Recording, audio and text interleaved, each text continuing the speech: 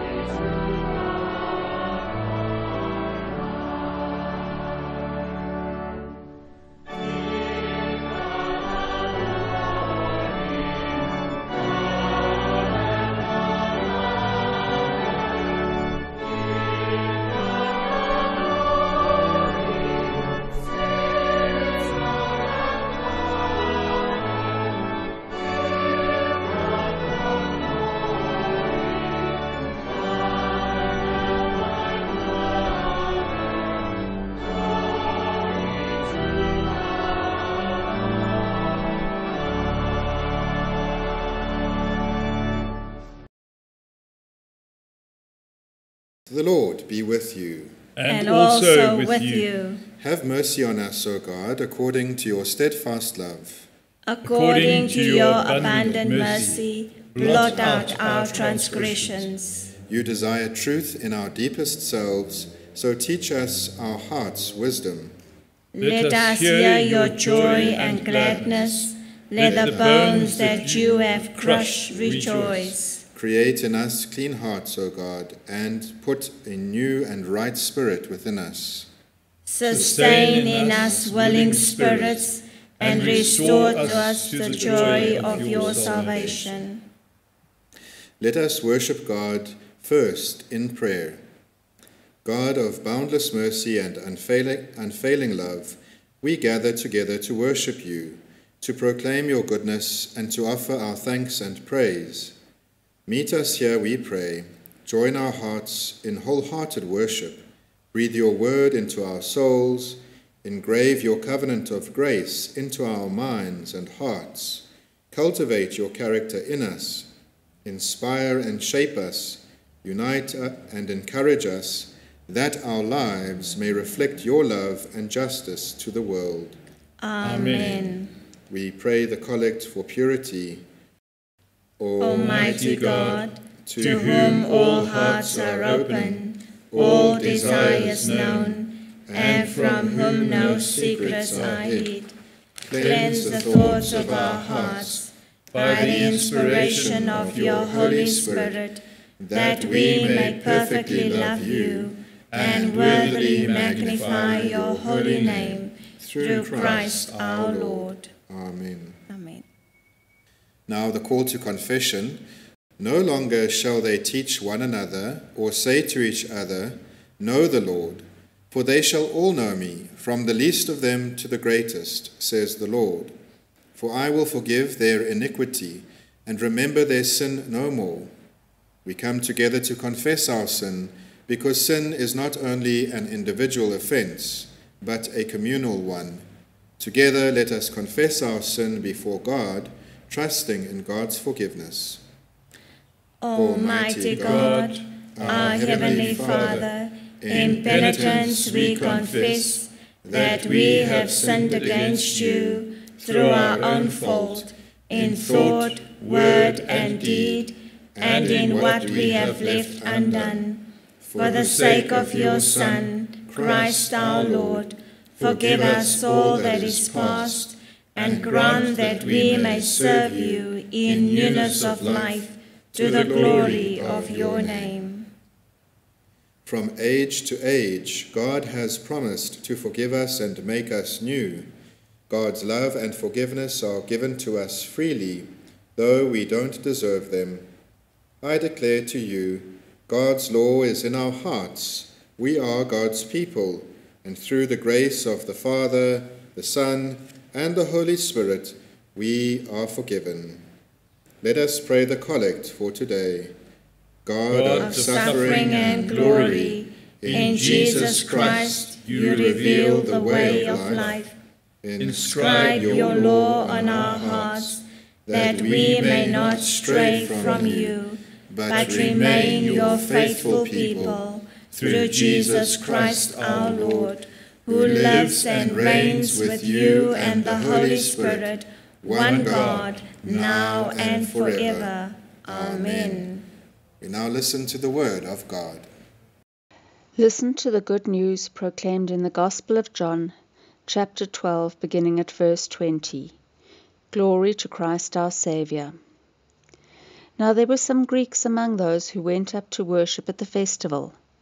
They came to Philip, who was from Bethsaida in Galilee, with a request. Sir, they said, we would like to see Jesus. Philip went to tell Andrew Andrew and Philip in turn told Jesus. Jesus replied, The hour has come for the Son of Man to be glorified. Very truly, I tell you, unless a kernel of wheat falls to the ground and dies, it remains only a single seed. But if it dies, it produces many seeds. Anyone who loves their life will lose it, while anyone who hates their life in this world will keep it for eternal life. Whoever serves me must follow me, and where I am, my servant also will be. My Father will honor the one who serves me. Now my soul is troubled, and what shall I say? Father, save me from this hour? No, it was for this very reason I came to this hour. Father, glorify your name. Then a voice came from heaven I have glorified it, and will glorify it again. The crowd that was there and heard it said it had thundered. Others said an angel had spoken to him. Jesus said, This voice was for your benefit, not mine. Now is the time for judgment on this world. Now the prince of this world will be driven out. And I when I am lifted up from the earth, will draw all people to myself. He said this to show the kind of death he was going to die. This is the gospel of Christ. Praise to Christ our Lord. Let's pray. Lord, may the words of my mouth and the meditation of all our hearts be acceptable in your sight, our strength and our Redeemer. Amen. The reading for today is from John chapter 12. And for us, Lent is nearly over. And at the time for Jesus, crucifixion loomed. And in today's gospel reading, he speaks plainly. He is going to die. The hour has come for the Son of Man to be glorified, he said in verse 23. And then he goes on to invite all of us to join him. But the truth is that death brings life in Christ. Unless a kernel of wheat falls to the ground and dies, it remains only a single seed. But if it dies, it produces more seeds. Life cannot happen fully unless death occurs first. For all of us, at most, we will spend a hundred years on earth, but eternity in heaven. In Ecclesiastes 3, verse 11, we are told, He has also set eternity in the hearts of men and women, yet they cannot fathom what God has done from beginning to end. It is beyond our understanding. The capacity of our brains is inadequate to conceive of what God has in store for each one of us. We don't know much about heaven, but we do know that it's perfect, that there's no pain or suffering, there is no selfishness or violence, and there is no time. This life is not all that there is. It's just a dress rehearsal before the real production. We will spend more time on the other side in eternity than here. And Jesus said in the reading today, whoever loses their sorry, whoever loves their life will lose it, and whoever hates their lives in this world will keep it for eternal life. Whoever serves me must follow me. So what does it mean to follow Jesus? Because for all of us selfishness is innate. But God tells us to die to this selfish life and to follow him now. How do we do it? Firstly, by worshipping him. Worship is our first responsibility to God. Our worship should be motivated by love, by thanksgiving, and by delight, not by duty. And worship is not just singing or praise in church. Worship is a lifestyle of enjoying God, of loving Him, of giving ourselves to be used for His purpose. Everything that we do in life can be an act of worship, Brother Lawrence famously said. And Besides worshipping Him, we follow Him by loving other people, learning to see others as God sees them. He sees grace in every human being. We know we have passed from death to life, we are told in 1 John 3, because we love our brothers and sisters. Whoever does not love is still in the realm of death. So we follow God by worshipping Him, by loving others, and then thirdly, by becoming like Christ by growing into the character of Christ. It's a process that is life changing for the rest of life. And the character of Christ, as we know from Galatians 5, is love, joy, peace, patience, kindness, gentleness, goodness, faithfulness, and self control. And fourthly, we follow God by serving others. Each one of us has a unique gift. The way we are wired is not an accident. It's not only for our own selfish purposes, but to benefit others. So the question that's asked of all of us is what will we live for? Will we spend the rest of our lives living for ourselves, for God, for others?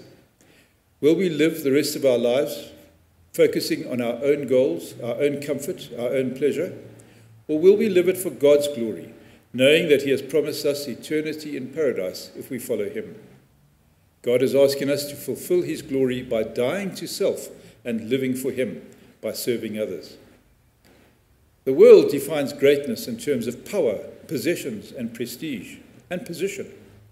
If you can demand service from others, you've arrived, the world thinks. But God measures greatness differently. He measures it by how we serve others, about how many people we serve, not how many serve us. Thousands of books have been written on leadership, but few on servanthood, because everyone wants to lead and few want to serve. The most important thing to have is the right attitude of heart. In our natural state is one of self centeredness. God, in contrast, calls us to a life of service, of being centered on the needs of others. Why do we need to serve God? Each one of us is a unique individual, deeply loved by God and there's no one exactly like us. We are called to surrender to His will, to thank Him for every blessing He has given us, and to serve others. Whenever we serve others in any way, we're actually doing it for God. God specially chose each one of us. In Jeremiah 1, it says, Before I formed you in the womb, I knew you. We were each of us placed on earth for a special reason. Our sins are forgiven because Jesus died for us. He paid a great price on our behalf, a price that we can never repay. all that we can do is accept His grace. We cannot be saved by service. We cannot be saved by doing things for others, but we are saved for service. We are saved by Christ to serve Him by serving others. It is because of His love for us that we want to serve others. In this demonstration of love for others, we provide evidence that we have passed over from death to life. But it does not earn us that life. God made us in His own image and sends angels to watch over us. He sends the Holy Spirit to guide us and the Bible to teach us. We grow by serving other people every day. Remember those famous words Whoever gives even a cup of cold water to one of these little ones will certainly not lose their reward. Amen. Let us declare our faith in God. I, believe in God, the Father Almighty, creator of heaven and earth. I believe in Jesus Christ, his only Son, our Lord, who was conceived by the Holy Spirit born of the Virgin Mary, suffered under Pontius Pilate, was crucified, died, and was buried. He descended to the dead. On the third day he rose again. He ascended into heaven. He is seated at the right hand of the Father, and he will come to judge the living and the dead. I believe in the Holy Spirit the Holy Catholic Church, the communion of saints, the forgiveness of sins, the resurrection of the body, and the life everlasting. Amen. We now come to the praise of the people. Lord, we come before you with our prayers for others. Write on our hearts the names of people, places, and situations that are in need of change so we can pray with hope. And so we pray for the church throughout the world, especially where to be a Christian is to risk everything. We pray for places where your church is flourishing. We pray for places where your church is struggling. We pray for your spirit to come with hope and with renewed energy. We pray for the church in our diocese and its needs. And as we move towards our celebration of Christ's resurrection, Send your healing spirit to raise our hearts and our hopes with the promise of new life in Christ. Lord, in your mercy. Hear our prayer. Lord God, for the nations of the world we pray, for all the people of the world and for those who lead them. We pray for wisdom in leadership and decisions that prosper all people. For those parts of the world where there is war or conflict, or injustice or suffering. We pray for your perfect peace. We also pray for our own country and its government in these uncertain times. Let those who lead hear the voices of wisdom and the voices of despair and act for the good of all. Lord, in your mercy. Hear our prayer. We pray for our parish community here at St. Michael's that by keeping Lent well, we will come to the celebration of Easter with hearts and minds renewed. We pray for all lay people who give unselfishly of their time and energy to the church and the administration of our church, that they may be strengthened and guided by the Holy Spirit in all they do. We also pray for and give thanks for our newly elected church wardens and parish council and we pray God's continued blessing on them as they avail themselves to serve God and his people in this vineyard. Lord, in your mercy, hear, hear our prayer. Christ, our healer, you care for and comfort all who are sick, lonely, depressed, suffering, unemployed or underdeployed, widowed and orphaned. Today we remember such persons among us especially those among us who are ill. Give them the joy of your saving help and sustain them with your bountiful Spirit. Lord, in your mercy, hear our, our prayer. Lord, we also pray for all those who spend their lives caring for others, sometimes with little support and often with little time and space for themselves. Lord, give them strength and your love. And we also give thanks for all those who have recovered their well being through the power of prayer and your love. Lord, in your mercy. Hear our prayer. We pray today for all those who have recently died, those who have been victims of war and terror, of natural disaster, of accidents, of violence and illness. Today we especially remember all those whose anniversary of their death falls at this time. We pray for those who mourn the death of a loved one, that you, Lord, will heal their wounds and fill them with hope in the resurrection. Lord, in your mercy. Hear our prayer. Lord Jesus, you taught your disciples that unless a grain of wheat falls into the earth and dies, it remains just a single grain. But if it dies, it bears much fruit. So as we prepare our hearts to remember your death and resurrection, grant us the strength and wisdom to serve and follow you this day and always. Lord, in your mercy. Hear our prayer. And so we pray these prayers in the name of our glorified and crucified Lord and Savior Jesus Christ, whose power draws all people to himself. Amen. We now say a prayer over the offertory. Generous God, you have acted graciously on our behalf all the days of our lives. We have been blessed abundantly. Our cup runs over with goodness and mercy. Bless these gifts we return to you now. As we return to you these gifts, we make them cheerfully and with ready spirits. Help us always to be thankful. Amen. As Christ has taught us, we are bold to pray. Our Father in heaven, hallowed be your name. Your kingdom come, your will be done, on earth as it is in heaven. Give us today our daily bread. Forgive us our sins, as we forgive those who sin against us. Save us from the time of trial, and deliver us from evil. For the kingdom, the power, and the glory are yours, now and forever. Amen. And now the blessing. People of God, go forth on your Lenten journey, knowing that you do not go alone. Have courage as you walk toward the cross, even through the valley of the shadow of death. For the word of life has been planted within you, and God has promised that it will bear much fruit.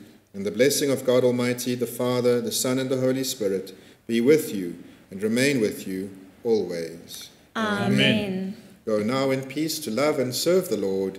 In the name of Christ. Amen. Tis